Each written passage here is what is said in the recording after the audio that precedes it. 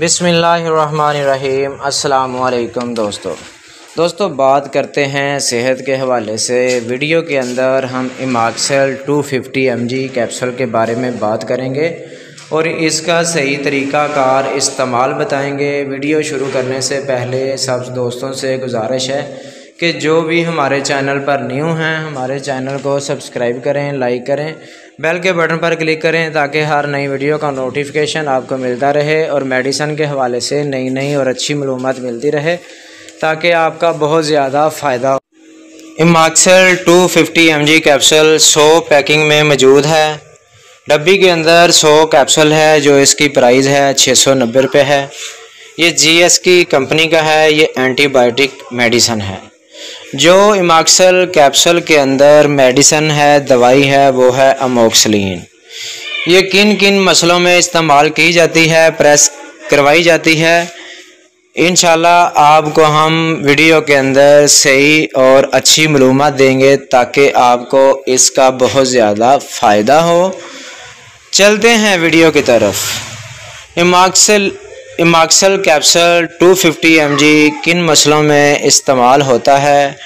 اگر ٹائیفائڈ کا مسئلہ ہے، بخار ہو جاتا ہے سردی کے ساتھ، یا سانس لینے میں دشواری ہوتی ہے، پیشاب کی نالی میں انفیکشن ہو گیا ہے، یا سانس کی نالی کے اندر ریشہ جم گیا ہے، انفیکشن ہو گیا ہے، یا جسم پہ کسی بھی جگہ پہ الرجی ہو جاتی ہے گلے کے اندر انفیکشن ہو جاتا ہے تو Amoxil two fifty M G capsule کا استعمال کروایا جاتا ہے۔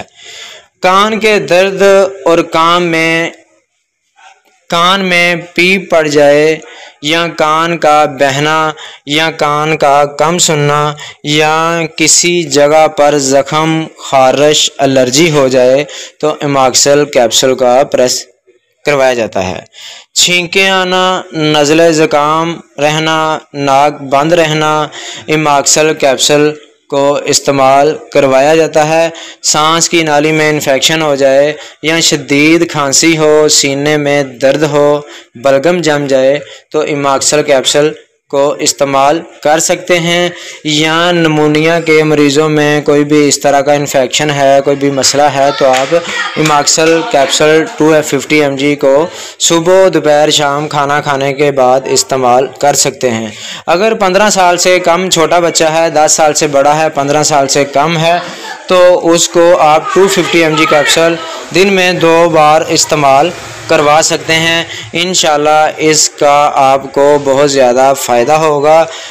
یا ایسے بچے بڑے جن کو سردی کے ساتھ بخار ہو جاتا ہے، جسم میں درد رہتا ہے، کھانسی کی وجہ سے یا پھپھڑوں کے اندر انفیکشن ہو جاتا ہے۔ یا متلی آتی ہے، الٹی آتی ہے اسحال سر درد، دانتوں میں خون آنا، مسوڑوں میں سوزش ہو جانا، تو اماکسل کیپسل کا استعمال کر سکتے ہیں۔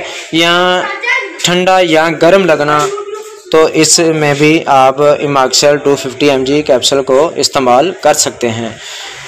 انفیکشن کی وجہ سے جوڑوں میں درد رہتی ہے ریشے کی وجہ سے درد رہتی ہے تو آپ Amoxil two fifty M G capsule کو استعمال کر سکتے ہیں یا گردن طور بخار ہے یا رات کو سردی لگ جاتی ہے۔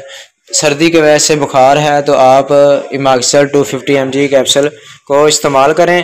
انشاءاللہ اس کا آپ کو بہت زیادہ فائدہ ملے گا۔ یا ایچ فلوری کے مسئلے میں انفیکشن ہو گیا ہے میدے کے اندر، پیٹ کے اندر۔ تو آپ Amoxil two fifty M G capsule چھوٹے بچوں کے لیے استعمال کروا سکتے ہیں۔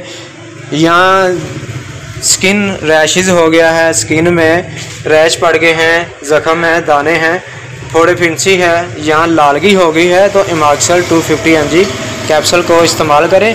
انشاءاللہ اس کی جو ڈوز ہے وہ آپ چھوٹے بچوں کو دس سال سے بڑے، پندرہ سال سے چھوٹے بچوں کو صبح، دوپہر، شام بھی کھانا کھانے کے بعد دے سکتے ہیں۔ تو انشاءاللہ اس کو آپ کو استعمال کروانے سے بہت زیادہ فائدہ ملے گا۔ اگر ہماری ویڈیو آپ کو اچھی لگی ہو تو